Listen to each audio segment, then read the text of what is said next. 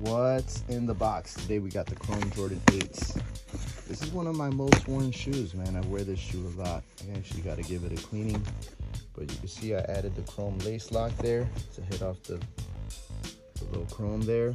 And uh, what I like is that I actually bought this sweater when it came out. It matches the same patch. Got a little tones of gray, so Bulls ain't playing. Got the little gray there, three up, three down hat. Like baseball, enough to buy a hat like that. Canada Goose jacket, staying warm. Got the black and white socks with the little Jordan emblem. I kind of like that. Got the two-tone grays, because there's two-tone grays there. And the white Jordan joggers. Pull it back one time. Oh yeah, I'm still gonna wear this shoe.